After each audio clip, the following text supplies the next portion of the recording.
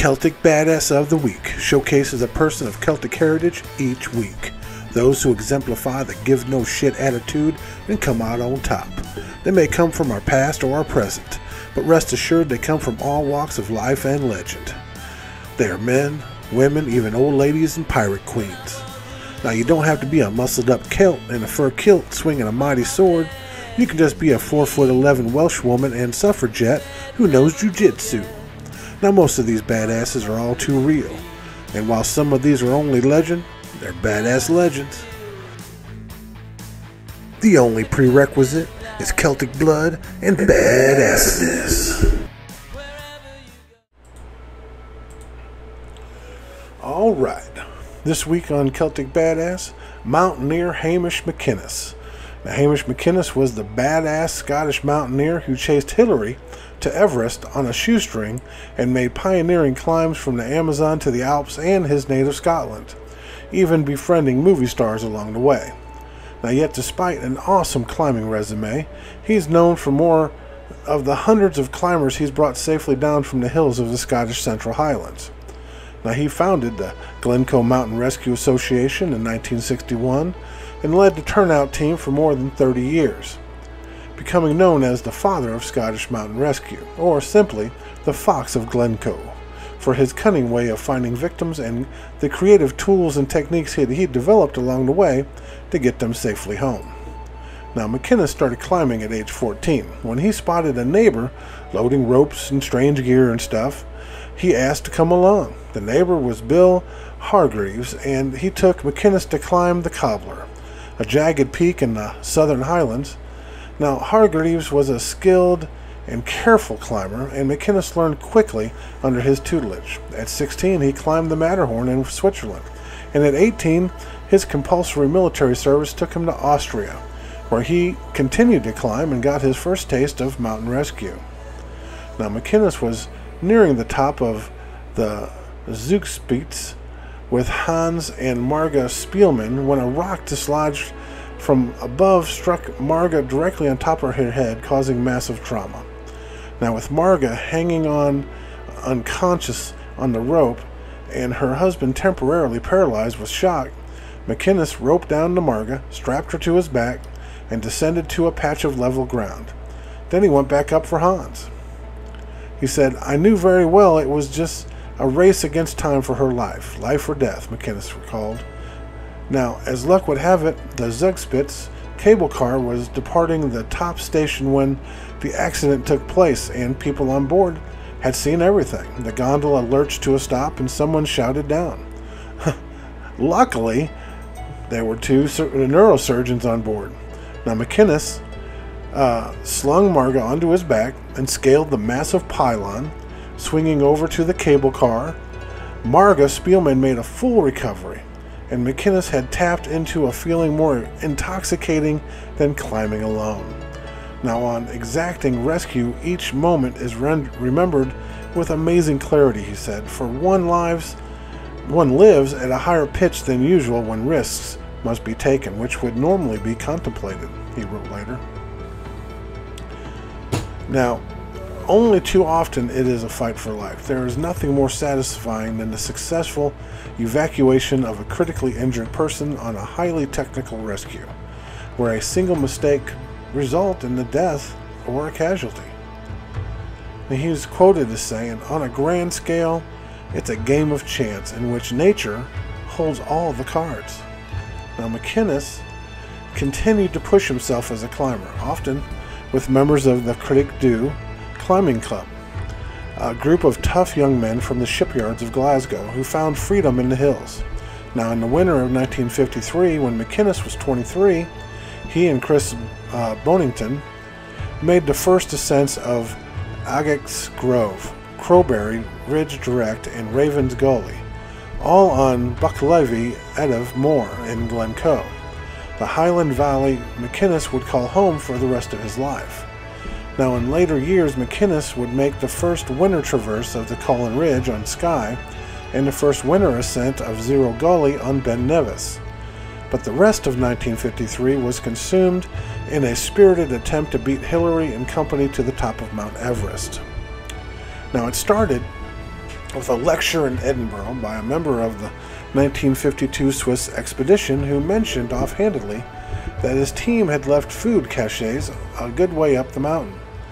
That strap of information formed the nucleus of MacInnes's bold plan to get to the top of the world on the cheap. Now, he scored a 10 pound assisted immigration passage to New Zealand, where he met up with 26 year old Creagh Dhu hardman Johnny Cunningham, continuing with him to Bombay and then on to Nepal. Now, they reached Everest Base Camp in late July 1953 with a borrowed tent, 150 pounds of potatoes, and a sheep. Hillary and Norgay had reached the summit, though, just seven weeks before, and MacInnes and Cunningham cheerfully changed their focus on a first descent of the Nirmai Pumori, climbing to about 22,000 feet before blizzards and avalanche risk forced a retreat. Now, the duo stayed in Nepal for a few more weeks, living on mutton soup and fried potatoes and bagging pingaro. Well, I don't even know what that is.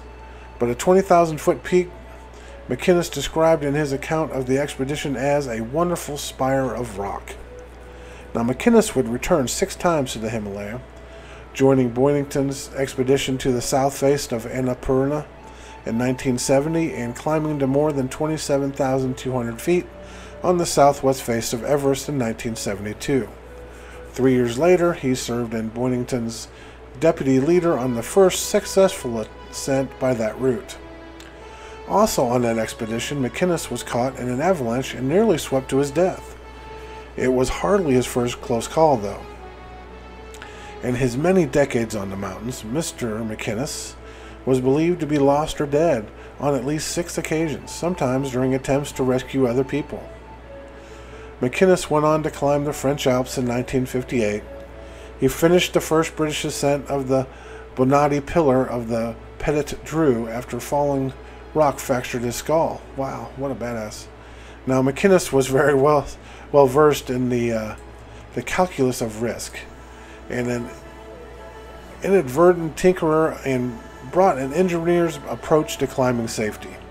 Now, he founded the Glencoe Mountain Rescue Team in 1961, led it for 30 years, participating in hundreds of rescues. He trained avalanche rescue dogs and co-founded the Scottish Avalanche Information Service and with Eric uh, Langmuir, and his most lasting innovations grew out of his long experience.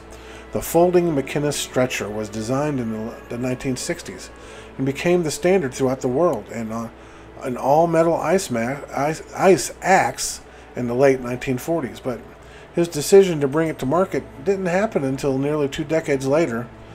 Know, kind of had a regret after a uh, rescue call out to Zero Gully where he found three dead bodies and two splintered wooden axes.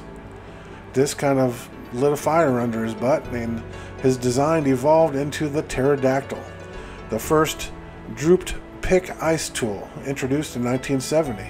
Now, it opened new worlds of possibility in vertical ice climbing. In an attempt to standardize mountain rescue, he wrote the International Mountain Rescue Handbook. First published in 1972, used by every mountain rescue world, uh, team worldwide, and has never been out of print since.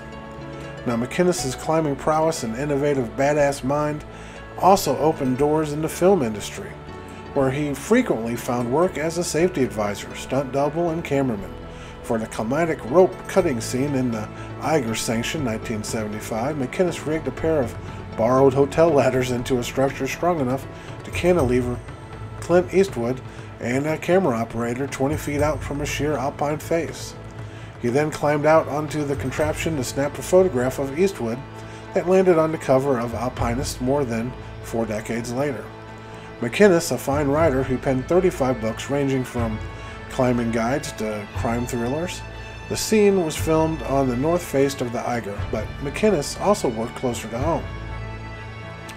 In 2014, when he was 84, a neighbor found MacInnes unconscious at the back door of his home. He was diagnosed with dementia and institutionalized for 15 months against his will.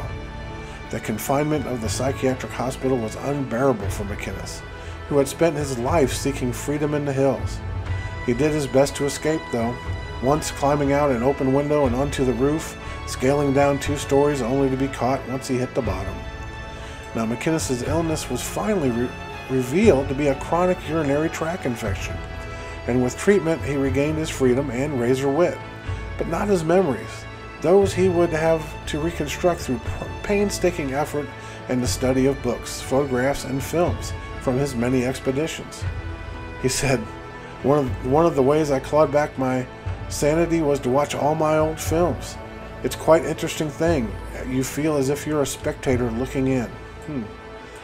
When he came out of care, all memory of his previous life had been gone, said filmmaker Robbie Fraser. What he did next, though, seems extraordinary. As well as undergoing physical and psychological rehabilitation with the help of his friends, he seems to have rebooted his mind. In the last chapter of his life, the canny fox of Glencoe, author of so many mountain rescues, ultimately had to rescue himself. In characteristic fashion, using persistence and creativity and the tools available to him, Hamish MacInnes recollected his mind, pulling back from a seemingly bottomless void the memories of an extraordinary life. They were with him when he died in November 2020 at age 90. A total badass.